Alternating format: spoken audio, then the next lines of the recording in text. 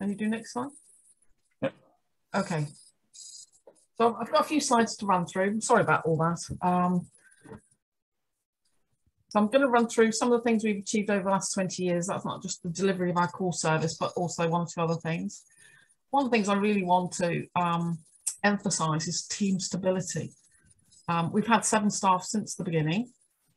Three have been with us since the start and three have done 10 to 15 years. So, um, and then Amy joined us nearly four years ago. So the importance of building up the knowledge base of wildlife conservation in, in Hampshire, the importance of the procedures and policies that we work to, ways of working, etc., are all so important.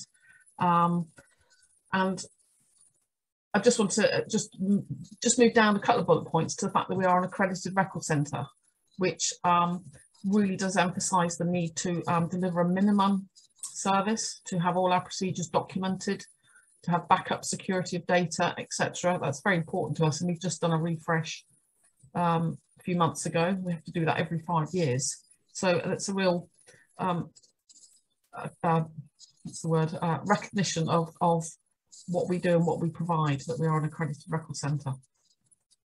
Also importantly, I think uh, the people side is very important to us, is we've trained around 30 volunteer graduates over the 20 years, um, teaching them the basics of data manipulation, grounding them in, in the knowledge of Hampshire and what's important in terms of wildlife. And I, I can say hand on heart, they've all gone on careers in um, wildlife conservation. Also very important to us is the HBIC partnership, which we have a, we do have a formal partnership agreement. We started off when we were established with about 15 funding partners. That's gone up to at least 25. One or two drop out and come back in as they go, but most of our agreements are three years, um, one year to five year agreements with some of the um, utilities and NGOs, but that's with all our district councils and Environment Agency and Forestry Commission, etc. Very important to us, that continuity of data supply. And we're also um, privileged really to have um, data agreements with at least 10 key, key species groups. We started off with four, you know, the, the, the Hampshire Ornithological Society, Botanical Society, Butterfly Conservation, um, Hampshire Mammal Group, um, the Amphibian and Reptile Group, uh, it goes on and on. And we've now um, got agreements more with at least 10 groups, um, British Bryological Society and BWARS, etc. And we are also able to um, exchange data with uh, organisations that put their data directly onto the NBN gateway. So that's all very important to us and maintaining that relationship. Um, we're maintaining an ever-growing core service and that's what the next few slides I will just go into. So just quickly moving on to some of the special projects that we've done over the years. Sorry, Morgan, can you just go back? I'm finished. Okay, so this is just a highlight of some of, of some of the projects we've been involved in, particularly more recently. Um, the Basingstoke Canal Survey and Assessment is a big job, as Ian will testify. Usually manages to lose about a stone in weight going up and down 26 miles. And we've done that every five years for the last 10 years. Um, so a lot of data to uh, collect from the canal, a lot of sampling and a lot of statistics to do with um, analysing the data and whether the canal is in, in condition or not. We've also produced the Hampshire Ecological Network Map.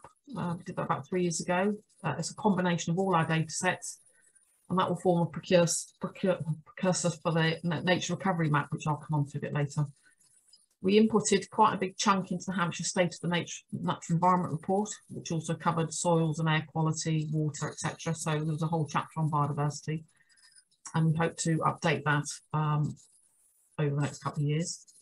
Um, carried out a full review of our SINC criteria after 25 years. We started off with two pages of A4 back in 96 and they've served us well, but the time was to, we had lots of associated documents with all that, so we pulled it all together and updated the criteria and the thresholds and eventually got it published last year. so that, that was a, a, good tick for us. And we're using it now to evaluate new sites.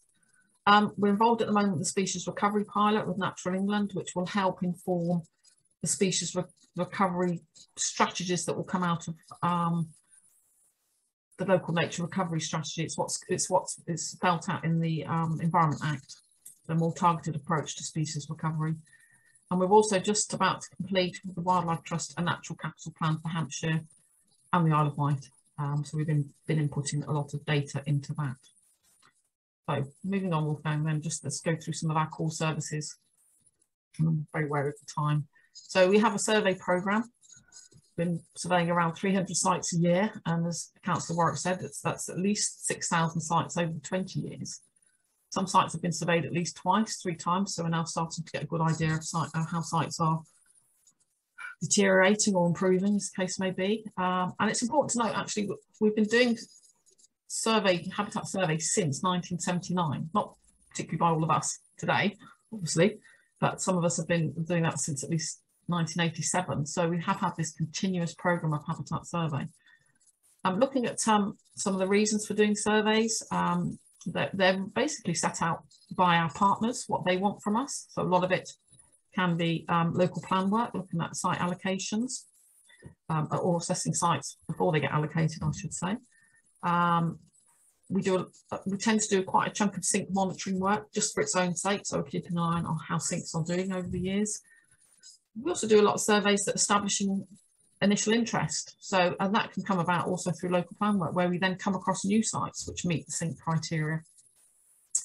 Same with informing management, sites that are owned by um, local authorities, country parks, that sort of thing, the wildlife trust reserves, we survey those as well on a rolling programme and, and that can include SSIs as well. So you can see there's, we do some SSI monitoring for its own sake, but there's a lot of overlap between all that as to whether we're, whatever the the priority reason is for doing the survey.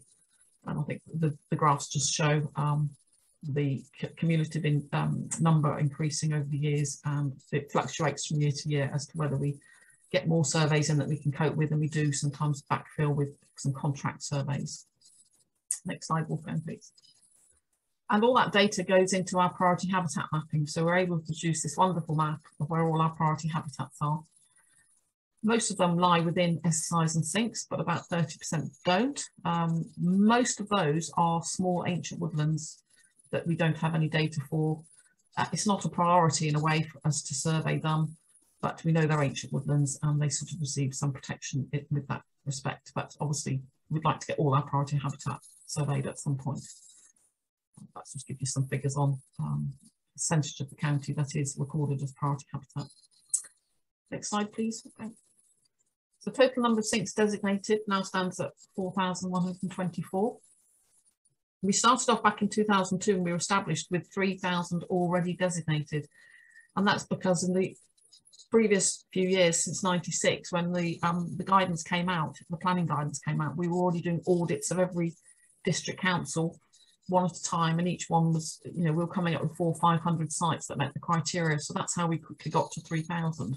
And from then on, we've obviously been surveying new, site, new sites that have met the criteria and we've done, well, whether we get to a thousand, we're at 966 at the moment over this year. I, am probably not quite sure we'll get there because I think it's true to say we're, we are finding less every year, which which is understandable. Um, I mean, we're just lucky that we still keep coming across little gems of sites, meadows uh, and woodlands that, that um, meet the criteria.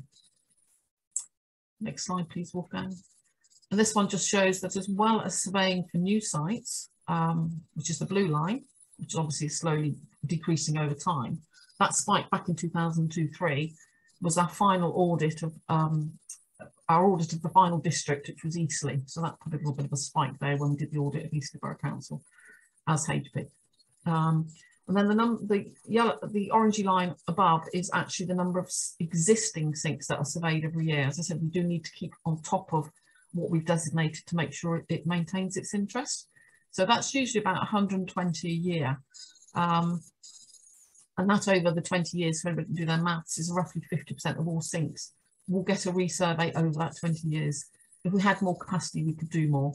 But um, we keep on top of it and we do survey the most, um, I suppose, vulnerable and threatened habitats where we can. We target the, the species-rich grasslands and the relic bits of fen and stuff not so many woodlands. Woodlands are fairly well protected, even though I think as Ian would agree with me, many of them becoming more derelict and structurally undiverse, etc., etc. But you know, hopefully things will change with the new agri-environment schemes coming forward.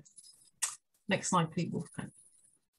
That's just a quick map of all the designated sites, the SSIs and things. And it's that map coupled with the habitat map that we have built our ecological network map from.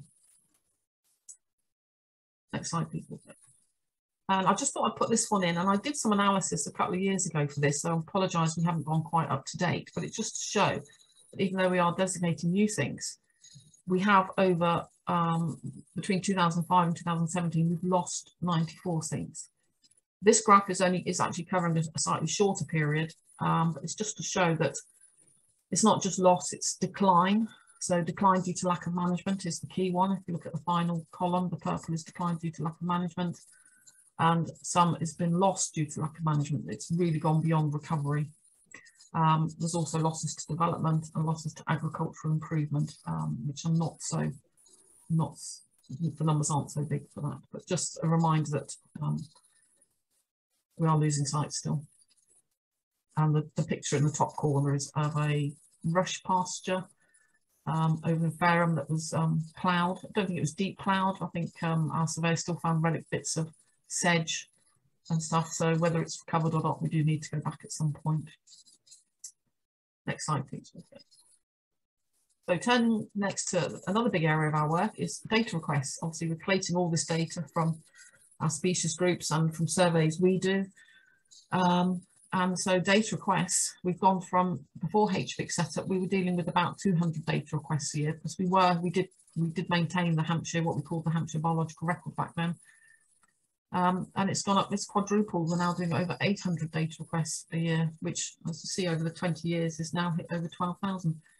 Um, the reason we are able to maintain that increase is partly due to um, our systems, Wolfgang and our systems, you know, we can semi-automate a lot of this data now, make it easy to, to um, we've got templates to pull the data off and extract it into reports.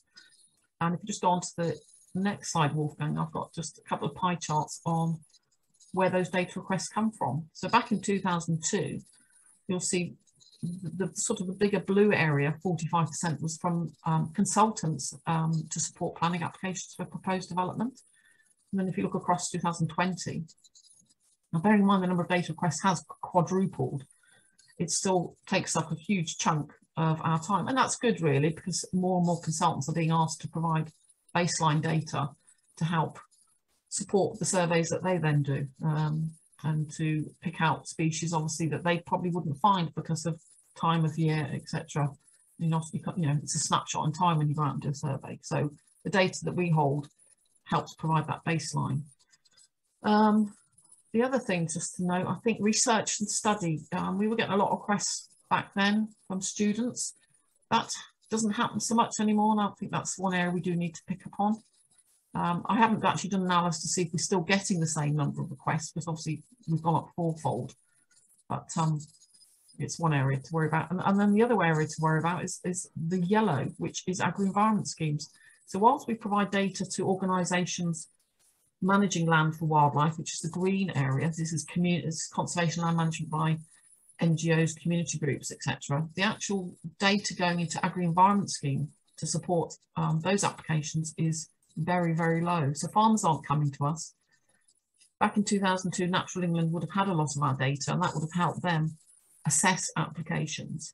But I think at the moment, very little data is being used for to support agri-environment schemes.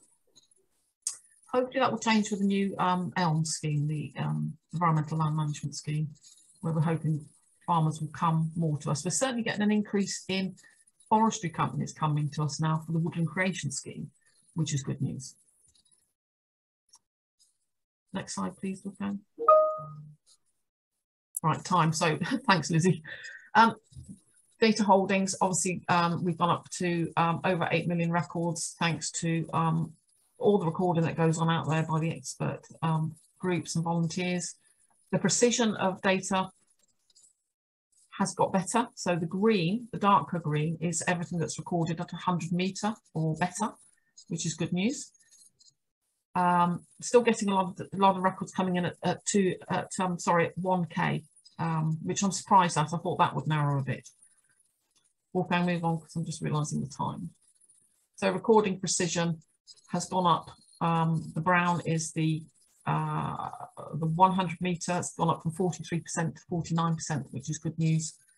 Um, and the amount recorded at Tetrad or 10K has gone down, which is brilliant news. Next slide, I'm nearly there. We screen planning applications. Uh, I won't spend any time on that one, but we do an awful lot of work on that for all the, well, most of the district councils. Some of them will do it in-house, but we provide, we flag planning applications that might impact on a uh, species or priority habitat, etc. Next slide. Highlights. Continued support for our centre. Uh, designated our 4,000th SINC was a big highlight. We got there.